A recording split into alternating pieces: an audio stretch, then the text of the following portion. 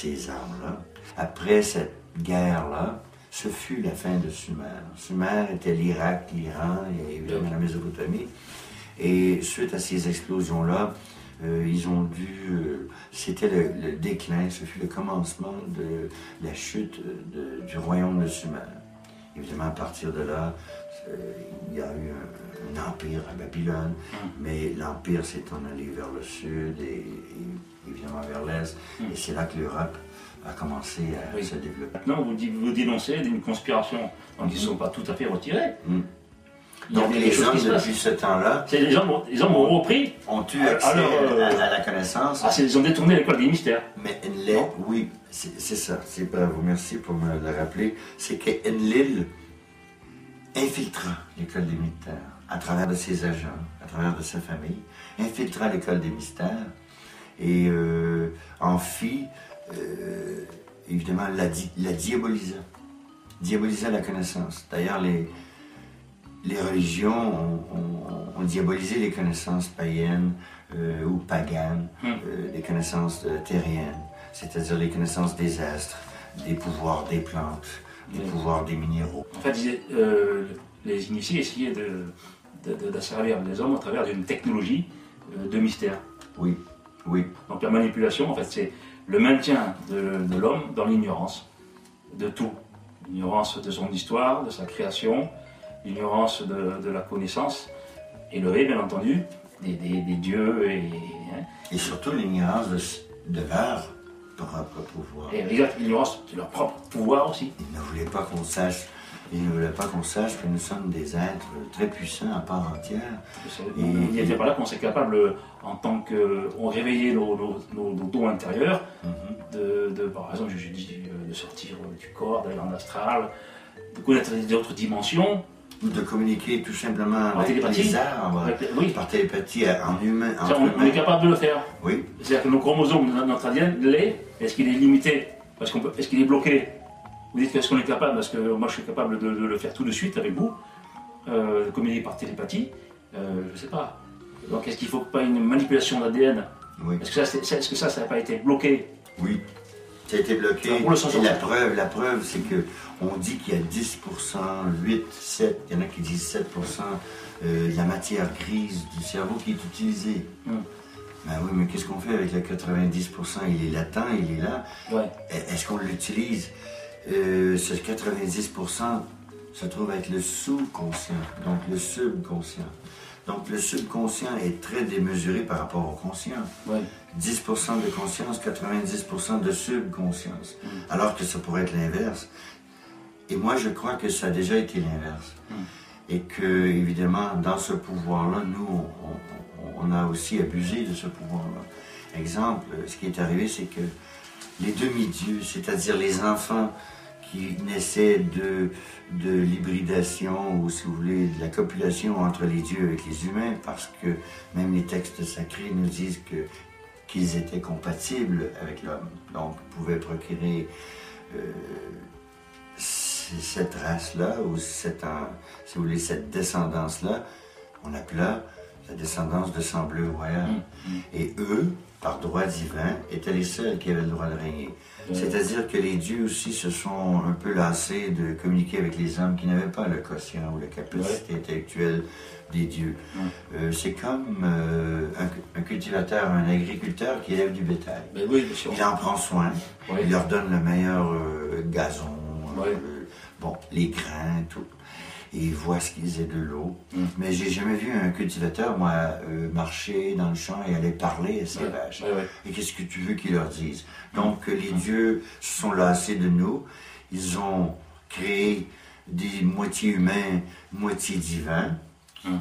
qu'on appelait les demi-dieux. Et c'est cette descendance-là, connaissant les secrets de la connaissance et du pouvoir et de l'échange, de l'industrie, du commerce et tout ça, ont commencé à abuser de leur pouvoir entre eux. Et eux se sont mis aussi à copuler entre eux. Donc, il y avait des sangs qui étaient moins purs. Et c'est à partir de ce moment-là qu'ils se sont donné l'ordre de ne copuler qu'entre sang bleu. Oui, je vois. Et plus le sang bleu était pur, plus ils avaient le droit de régner sur terre. Et évidemment, les guerres, à partir de ce point-là, c'était les humains, les dieux s'étaient retirés. Euh, nous est revenu sur terre, leur père, à nous, qui aussi, euh, donc on dit un an, une année. Une année vient du mot à nous. Donc, on a, si vous voulez, consacré à leur père, à Anki et Enlil, à nous, on leur a consacré beaucoup de, signes et de symboles. À nous est revenu sur terre et leur a dit qu'ils euh, pouvaient revenir sur Nibiru. Évidemment, ils regardaient leur propre euh, père qu'ils avaient laissé il y a 50 000 ans, 60 000 ans, ou 400 000 ans. Ils avaient vieilli énormément par rapport à eux. Et ils croyaient qu'en revenant sur Nibiru, ce serait leur fin. Mais non, euh, ils pouvaient retourner sur leur planète. On avait trouvé une façon de les réintégrer dans le, nouveau système temporel de 1 an égale 3600 ans. Donc ces dieux-là, pour sauvegarder leur peau, sont retournés sur Nibiru et nous ont laissés ici sur Terre avec leur descendance. Alors c'est les descendants qui nous manipulent. Et voilà. Et voilà. comment on peut faire pour, euh, s'en sortir?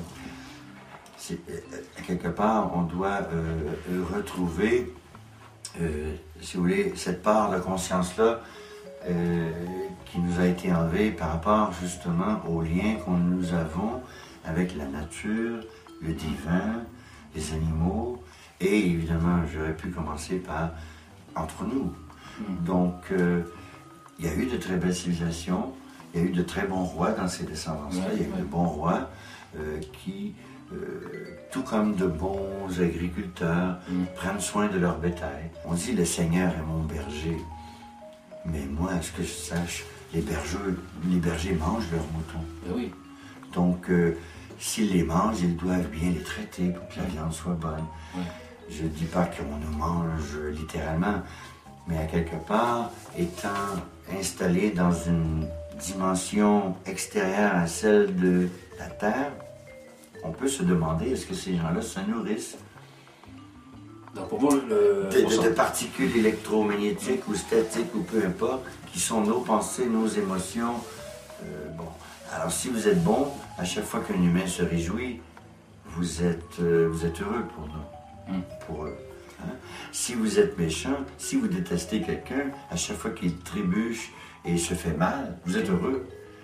Hein? C'est une vengeance de dire Ah, tant pis pour toi. Donc, il y a un esprit qui ne veut pas que l'homme, qui est envieux de l'homme, parce que il s'en est fait le propriétaire et doit laisser maintenant libre sa création.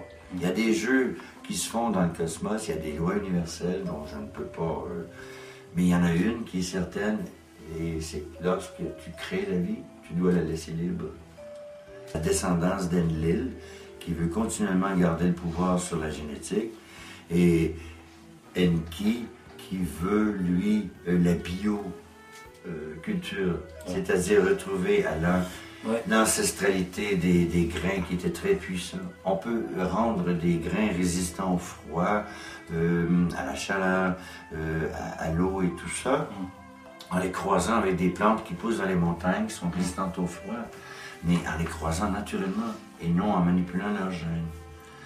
Euh, l'apricot vient de la prune et de la pêche. Mais cette, cette hybridation-là, c'est faite par greffe naturelle.